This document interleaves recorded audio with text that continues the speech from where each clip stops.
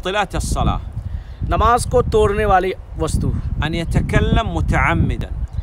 کوئی ویکتی جان بوجھ کر کے بات چیت کرے۔ عالما تحريم الكلام في الصلاة. اور اس کو یہ بھی معلوم ہو کہ نماز میں بات کرنا حرام ہے۔ ذاكرا لا ناسيا اور اس کو یہ چیز یاد بھی ہو کہ ہمیں نماز میں بات نہیں کرنی چاہیے پھر بھی کرے الصلاة باطلة۔ تو ایسے ویکتی کی نماز باطل ہے۔ لكن لو تكلم ناسيا أو جاهلا تحريم الكلام في الصلاة فالصلاة صحيحة لیکن کوئی ویکتی کلام کرتا ہے اور اس کو معلوم نہیں ہے کہ نماز میں کلام کرنا حرام ہے یا ایسا ویکتی جو بھول کے بات چیت جو بھول کر کے بات کر رہا ہے تو اس کی نماز باطل نہیں ہوگی۔ الثانية الثاني من مبطلات الصلاة الحركة الكثيرة۔ اور نماز کو توڑنے والی جو دوسری وستو ہے وہ نماز میں بہت زیادہ ادھر ادھر کرنا بہت زیادہ حرکت کرنا۔ المتوالية المتتابعة۔ اور یہ کارج لگاتار کرتا رہے وہ ویکتی۔ حتى تراه تظنه غير مصلي من كثرة ما يتحرك۔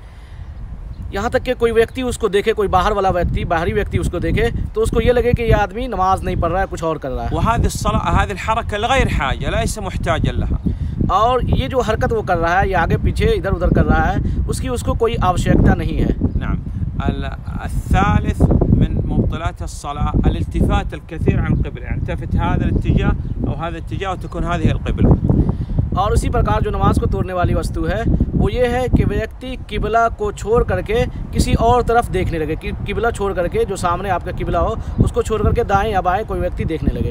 نعم. وكذلك انكشاف العورة وهذا يحصل عندما يصلي الإنسان في البنطال عندما يركع ويسجد. إذا كشفت العورة من الخلف بطلت الصلاة اسی پرکار ایک ویکتی کا جو سطر ہے جیسا کہ پہلے کہا گیا اس سطر کا کھل جانا۔ اور یہ سب سے زیادہ اس ویکتی کے ساتھ سامنے آتا ہے جو پینٹ پہن کر کے نماز پڑھتے ہیں۔ جب وہ پینٹ پہن کے نماز پڑھتے ہیں تو پیچھے سے اس کا حصہ کھل جاتا ہے جس حصے کو چھپانا ضروری ہے۔ تو چوتر کا کچھ حصہ کھل جاتا ہے کھل جاتا ہے۔ اور اگر ایسا کھل جائے تو اس کی نماز نہیں ہوگی۔ الأكل الشرب الضحك۔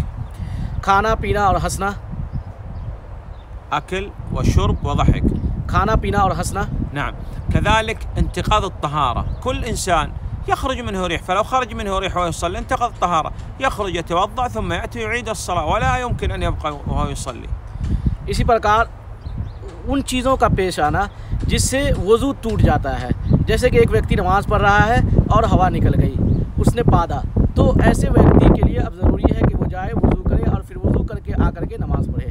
نعم. نحرص أنه لا يأتي للصلاة مبطل حتى لا تكون الصلاة باطلة. نماز پڑھ رہے ہوں تو ہماری کوشش یہ ہونی چاہیے کہ ہم کوئی ایسا کارج نہ کریں جس سے ہماری نماز خراب ہو جائے، ہماری نماز ٹوٹ جائے۔